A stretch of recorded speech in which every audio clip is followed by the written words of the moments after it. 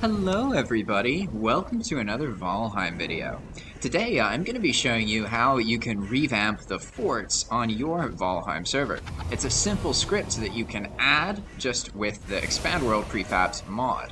But before I get into the addition of the script to your server, let's make sure that you understand what this does. Here we have a charred fortress. There's been some changes which you might notice if you're particularly used to how the vanilla forts are, but I won't explain those yet. Instead, I want to talk about the focus of this revamp. The first thing is Iron Gate added these awesome catapults and siege weapons. But as they're implemented, players don't even really use them. You see, players often just build over the walls and they use the siege weapons maybe like once to see how it is, but that's it. As implemented, forts are not something where siege weapons are the path of least resistance for the player. And that's where our revamp to the fortresses comes in. First off, you can see that there's another charred cross in front of the gate. That isn't normally there, and this helps put more pressure on players who try and use terrain management like the hoe to get over the wall. You can still do that, I didn't block it completely, but now it's just a bit more inconvenient to do so. The bigger thing that's actually prevented here is building. You cannot build anywhere near the fort. You can try to, but look what happens you lose the resources and you get a message that says siege the fortress first. This helps prevent the most easy cheesing, which is to just clear a little spot to the side and then make a little wooden bridge and go right over it. But from a game development perspective, it's not good to just limit the player you'll find that you end up reducing fun that way. So we also added some other changes. One of the things we noticed about the siege weapons is that they aren't as satisfying to use as maybe they could be. You know, considering these things are endgame stuff, they really need to feel like the siege weapon melts the fort. Otherwise, players just don't use them. So, what we've done is make the bombs much more powerful as you'll see in a moment. Instead of just triggering one explosion, they trigger many different siege explosions, and this allows you to more quickly break in. However, I found that something that might also be helpful is to allow players a sort of siege weapon that's overkill, but acts as an item sink. So that's where the molten cores come in. By using this Expand World prefab script, when you throw a pack of nine molten cores, it will actually make an explosion that can penetrate the wall. So let's go over here, for example. All you'd have to do is run up here with your character and then toss the nine things down. You see a little animation, and then we run back. And so I'm lagging a little bit, so things were slower than they would normally be. But you can see that those cores damaged a bunch of these guys, and then they bust a little hole in the wall. These ones aren't as strong as the others, so normally what you would do is you would have to multiple times throw down your core bombs and then run away because they can actually kill you. And these ones look like they're actually triggering properly now. For some reason you couldn't see all the stuff. And you can see that they do a lot of damage. They kill the mobs that are nearby, and also any player who's unfortunate enough to be there. And now you can see that there's enough that you could actually jump in through here. And I find that this adds a more interesting mechanic that acts as a fantastic sink for the molten cores, which you only get inside the forts for most players, these molten cores are going to be pretty much useless. So what's going to happen is they're going to get molten cores, and then they're going to be able to make stone portals.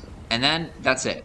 That's it. Once you have just a couple of these, you're good. You don't need them anymore. You can do like two forts. So this way, if you use a bunch of molten cores, you can break into another fort. But as you saw here, I needed to use three piles of nine, which is like, which is 27 cores. That's actually a lot. But I find that it's a fun mechanic that helps give people another way to siege the forts. But now that you got a glimpse of inside the fort, I can explain how the rest of that no-build mechanic works. Because some people like to make bases out of these forts, so why should it just be a no-build zone? Obviously, maybe that's not necessary. And that's where these fancy little wisp lanterns come in. Here, watch what happens if we just destroy these chests. We're gonna destroy that one, this one, and now that we're back outside, I can take out my hammer and try building, and look at that. Now, because I've cleared the build protectors, I'm able to just build freely meaning I could do whatever I want with this fort. I could clear out all the spawners and build it into something, and this way we get the best of both worlds. In addition to these mechanical changes that you've seen so far, there's also a couple extra additions to the fort that aren't normally there. As you can see, there's a Morgen inside the fort, and each time you reset the forts, they'll basically roll a chance extra Morgen and also extra Fallen Valkyrie. There were originally more vultures here, and that's because each fort will come with vultures as well. I'm going to reset the fort right in front of me so that you can see exactly what I'm talking about. There we go, the fortress has reset, and now it's rebuilding itself. At first it rebuilds the base layer, and then it'll lag a little bit, and then the mobs will spawn, and those mobs trigger the extra stuff to show up. So we can see that we just got our chest with our Wisp Lantern, and now we're starting to get the mobs. Those are the vultures I was telling you about. And you can see that there's actually an extra spawner up top here. There's also an extra spawner here outside, and another extra spawner on the other side of the other gate. Each of those spawners adds more of these vultures which really help give the fortress more repellent effect in the beginning. In general, the fortresses weren't dangerous enough to players on the outside of the fortress, and this gave players more of an opportunity to bypass mechanics. So now they have to clear more monsters in order to be able to build something, but they can't even build anything unless they destroy those wisps that you saw earlier. Now, I'll reset the fortress again so that you can see how sometimes there's more Fallen Valkyrie, and there might be another Morgen. This one, for example, has a Morgen, you just can't see him yet because he hasn't spawned. This time, this fortress did spawn with one Fallen Valkyrie, and that's actually more common. I find that it really helps defend the fortress.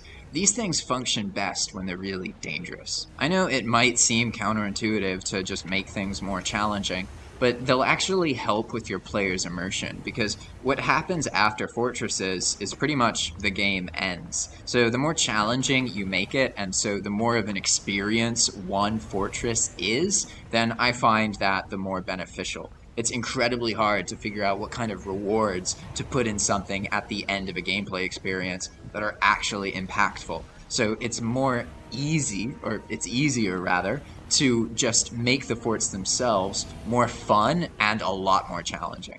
And by making them more explosive, you kind of do make it easier, but I find that it's a good balance. In order to install this vanilla-friendly Charred Fortress modification on your Valheim server, you'll need to use a BepInEx Valheim server and put on the mod Expand World Prefabs. Vanilla players will be able to join and have this experience that you've seen. They don't need to even know that you've made these changes. And after you've got that set up and you have Expand World Prefabs on your server, you'll need to go into the Valheim World Editing Discord, which is the Discord that you can access either by going to the link in the description of this video or by going to any of Jere's mods and scrolling down to look for the Discord for help and examples. This is the holy grail right here. Once you're in this Valheim World Editing Discord, you can scroll down and go to this config share section, where you can find all sorts of these sort of things that you can put on your server that are vanilla friendly. In this case, here's the fort one that I just uploaded.